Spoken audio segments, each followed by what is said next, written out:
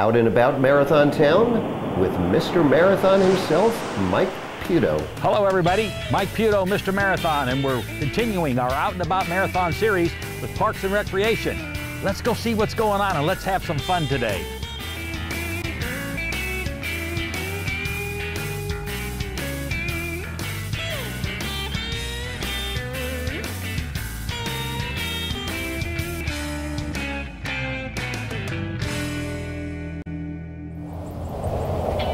Everybody. Mike Puto here, Mr. Marathon, and out and about Marathon Town.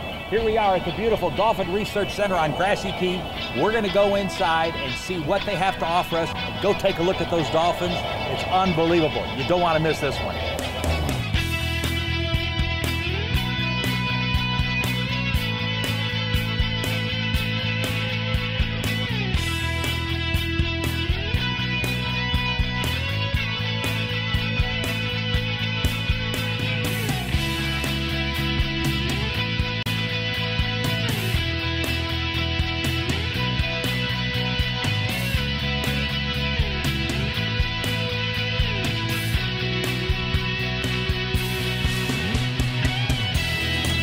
How you doing, my brother? Good to see you. Good to see you. Thank you Thanks for for, having us here. This is this is fun. We're gonna we can't wait to get out there and be with those dolphins. Well, let's not wait. Let's let's introduce you to some dolphins. let's Come on. go. Let's go. Welcome, Mike, to the Dolphin Research Center. Well, this is this, this is just unbelievable to be at the Dolphin Research Center. It's legendary. It's historical, and we're with Mandy Rodriguez. And Mandy, thank you very much, buddy, for having us here. This is really My totally pleasure. awesome. Right? It's cool to have him here. Dolphin Research Center, actually, believe it or not, this is where Flipper started. And we all know Flipper. We all grew up with Flipper, right? You like Flipper? Yes, we love Flipper. You know, as everything, as every actor has their stand-in, Flipper had her stand-in. Believe it or not, there were five Flippers that started in the movie, in the, in the show. Two had an on-stage romance, and Tursi was born. Whoa. Tursi has been here now for 38 years. She's getting to be an old gal. And she has two teenage sons and a young daughter. Now watch, we're gonna ask her, actually you're gonna ask Okay. her. What you're gonna do is you're gonna put your finger like this Okay. and then you're gonna take that finger, I'm gonna do it here so she doesn't see it, and go around. Okay. And see what she does. You Okay. ready? Pay attention to Mike. Okay, now, there you go. Now watch in the center of the pool. So, how long has the Dolphin Research Center been in existence? Because I've known you for over 40 years. I know, So, isn't that uh, something? We yeah. were really young. We were only two when And we had met. hair on top of our head. We had hair on top of our head. Actually, the facility has been here since the late 50s, early 60s. It was Milton Santini's Right. Porpoise School at the time. Dolphin Research Center started in 1984 as a nonprofit organization. All we wanted to do was basically give homes to unwanted marine mammals, the ones that strands, the one that hurt. As a matter of fact, well, hopefully I'll introduce you to a couple of those guys. Uh, one, his name is Louis. He actually was part of this oil spill that we had in the Gulf. Whoa, okay. Um, and he was given 5% or less chance of living. But boy, he didn't believe that. He is a wonderful young man today. And our mission here at Dolphin Research Center is to basically make sure that these wonderful animals are taken care of and that be- being here, we want to educate with them. And we do a lot of things with not only challenge folks, but as well as veterans. Wounded warriors come and uh, they enjoy these wonderful animals. But uh, they, they just seem to you know they seem to accept you for who you are. They don't have an agenda. There is no agenda at all right? None whatsoever. No. And, and it's amazing how they know uh, when the person's in the water, whether it's a, uh, a special needs person or she's pregnant or it's a quadriplegic, whatever. And how they, whatever that sixth sense is, as, as I say, is really uh, it's totally awesome because I mean I've seen your programs here, and it's amazing how they adapt to the person in the water. And here's the funniest part is that a lot of people say well how do you guys train that we don't these animals these dolphins know as you're saying that have that extra sense to know whether to go a little faster on their dorsal tow or just to take it easy right? Now I know Manny, when uh, you know one of the things we try to do is educate the public, you know, about dolphins, and of course you'll see all of the ads on television where they're out there saying, "Don't commingle with the dolphin when you're out fishing. Don't feed them. Don't do these kind of things." What what does that do? Does that interfere with their lifestyle in reference to how they go for food and all that? well yeah wh- what happens usually these people are in a boat Right? and the boats obviously have propellers. And these guys, they are smart.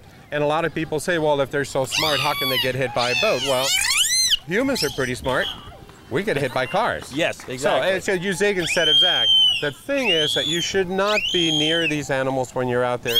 Stay about 100 feet away and watch them. They do, they're beautiful if you watch them from far away. If you come too close, you may disrupt a fishing. Maybe they're fishing, maybe they're mating.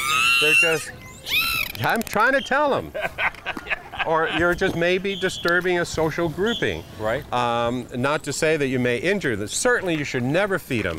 These guys do really well on their own. They were well adapted with their echolocation and their speed. They can do fine on their own. Do not feed these animals. Do not go near these animals. Watch them from far away and enjoy them. Right? In other words, if you're if you're happen to be out in the water, you see a pod, don't go to the pod. But if you happen to be just cruising by, and I've noticed a lot of times, for example, where we've been out and uh, uh, we've seen the, the dolphins be in front of the boat. Yes. That's that's just totally awesome. I mean, it's just. Uh, I mean, it's unbelievable how they can keep up with the speed of the boat, and uh, I would assume they could probably go what 40 miles an hour, maybe. or- Well, it's about 20, it's about 22, 23. But here's the thing: when you're moving on a boat, you're pushing a big wall of water. What these guys are doing is they're riding that wall of water, and you'll see them take take turns in the center, and then when they drift back, they'll ride the wave. So it's pretty much akin to a motorcycle getting behind a semi and getting sucked in. Not that I've ever done that, No, mind no, you. no, never, no, no, never, never, never. Never do that. no, No, never do that. But it's the same idea. It's they they drift with it or they ride with it. It's called echelon swimming, right? Right. now, are you ready to see a beautiful body? I'm ready to see a beautiful body. Yes, sir. Oh, you're dolphin. oh, okay. oh, I got. Good. Okay. Ready? And Tina, come on up. There you go. Beautiful, beautiful. Oh, my Oh, very good. Thank you, Pumpkin. All right, now you've met Santini. Let me Yes. show you one of her better, better acrobatic feats. Are you ready? I'm ready. Now, you uh, before you leave here, you have to do what she's about to do. Okay? Is that a Uh, deal? I'll give it a try. All right. I'll give it a try. You ready, Santini? I'll give it a try. Circle. Now watch. You have to really pay attention because you're going to have to do this before you leave. This young man had less than 5% chance of living, and here he is. He is just the most beautiful little boy. We kind of guesstimate his age as just a few years, but of course we don't know. Hi. But he's got those beautiful, beautiful eyes. He's just a little boy. Can you, Leon? Can you say hi to Mr. Mike? Hello, how are you? How are you? Can you how say are hi? you? Good to see you. He is a survivor. He is the poster boy for survivor. How did uh, when when they found him? I'm assuming he was beached or in shallow water, and then I mean probably loaded with oil and all that good stuff. or- Exactly. He was he was found on a beach exactly like that. Wow. Oil all around him, not not in him, but all around him, and he was really debilitated. Oh. He was very very thin, and uh, as I said, they didn't give him much of a chance to live. But he has the will to live, and the thing is that there's something that we need to learn about him.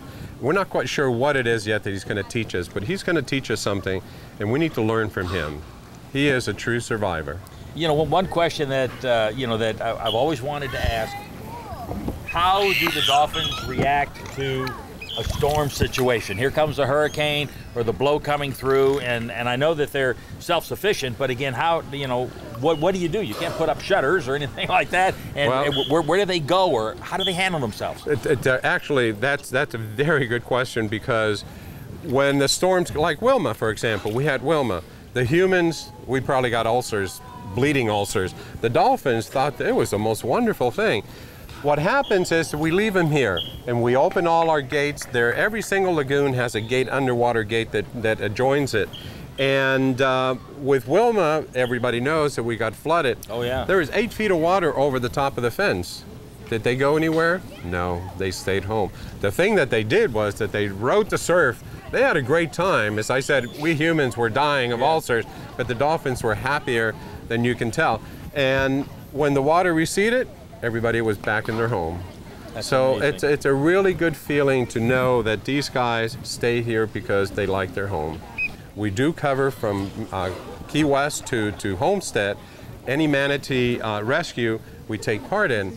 And uh, of course, manatees, we need to help them. And again, if everybody can stop giving them water and feeding them, um, I think we'll be better off. There, there are about 3,000 and some odd left in this world. After they go, we don't get any more. Right. So if you if you have a friendly manatee that comes to your dock, please don't water them. Please don't swim with them. Please don't feed them. If they're injured, you need to call the FWC, Florida Wild uh, Fish and Wildlife, and then they will contact the proper people for us to rescue them. Right. If you love them, don't feed them, don't water them. Good Because point. you're hurting them. Yeah, good point.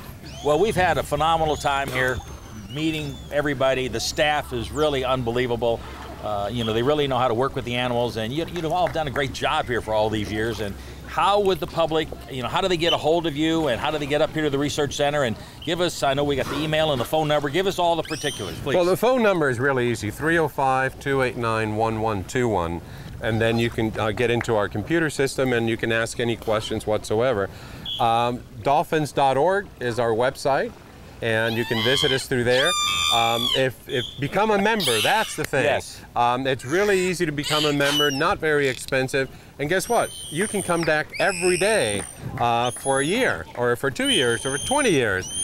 Uh, we also have a splash park for the kids, which I have little kids, and it's great to bring them here, let them get tired and wet, and then come see the dolphins. So we urge you to come, and we'd like you to come and meet all these wonderful, wonderful, wonderful animals. Is that right? Can you say goodbye to Mr. Marathon? goodbye. Say goodbye. Thank you. Bye. Thanks for being here. And thank you, Mike, very much for, for coming over. Thanks for having us here, and thanks for everything that you do for these animals. Your staff, this facility is just unbelievable, and what a place to be. You got to come see this place. It's unbelievable. From the Dolphin Research Center, until next time.